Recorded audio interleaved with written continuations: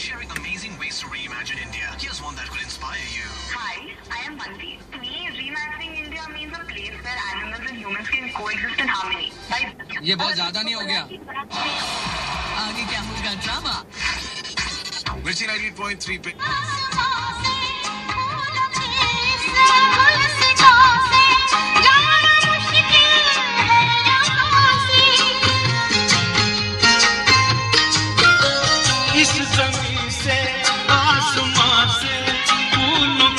इस गुलसिता से जाना मुश्किल है।